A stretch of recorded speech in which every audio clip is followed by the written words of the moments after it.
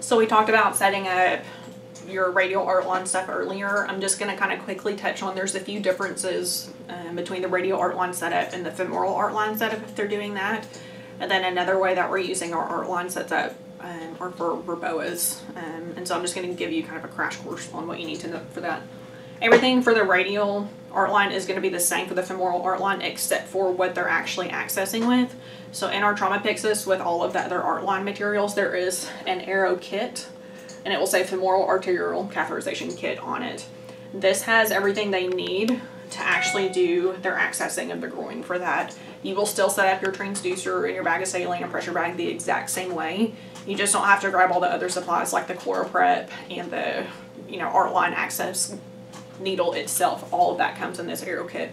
You zero it the same way. The transducer still goes at the level of the heart. Nothing else is different except this contains all the supplies they need for the actual access kit. The other thing that I'll touch on too is we've recently started doing REBOA and all of your REBOA stuff is going to be in the trauma carts and the trauma rooms. There's a big drawer that says REBOA on it.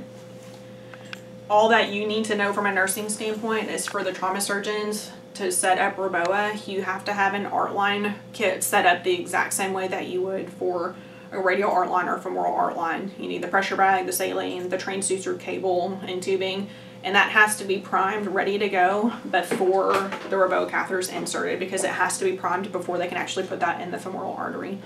You don't have to worry about what all that they're going to need for that other than you need to know it's in the trauma cart and all of the trauma rooms and you have to have an art line set up ready to go for them when they do it and it's going to happen very fast so if you hear someone saying that a patient's going to be a candidate for REBOA go ahead and get that art line tubing and everything set up ready to go and primed for them because as soon as they get that in they're going to go ahead and hook it up and start looking at um, the measurements for that and go ahead and blow that balloon up to stop bleeding.